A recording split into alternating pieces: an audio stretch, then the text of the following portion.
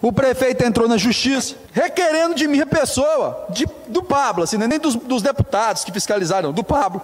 Caso ele fiscalize algum ambiente público de saúde, eu tenho que pagar 500 mil reais. Prefeito, eu não tenho secretário com jeton absurdo que paga as suas dívidas, como tem secretário que está pagando aí, 100 mil em espécie, para poder pagar multa de 500 mil, porque eu quero trabalhar, não. O cara quer que eu pague para trabalhar, vê se pode um negócio desse. Pagar por trabalhar. Imagina se essa moda pega. Aí você entrou lá com um pedido a liminar na justiça e quebrou a cara mais uma vez. Daquelas três vitórias que vocês viram ali, uma foi essa. A justiça foi lá e indeferiu o pedido do prefeito. Como que vai proibir um deputado que faz do seu mandato uma luta, um aclamo pelo povo?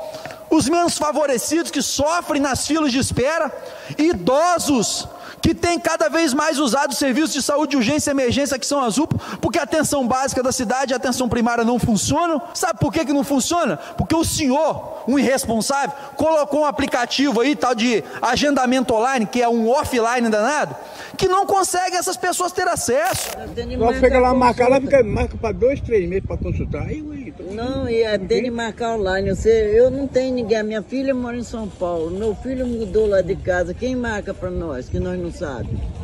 E é um absurdo esse agendamento. Não marca lá se a gente for Chega lá, tem que marcar pelo online. Como online? Online, é só que pelo online. Meu filho, meu filho tem quase um mês que está tentando online para marcar. Quer colocar agendamento online? Também. Beleza, mas tem que ter o um agendamento presencial para quem não consegue online poder ir lá e ter consulta. É, As pessoas vão ficar sem consulta. E aqueles que são os bate-bota do senhor?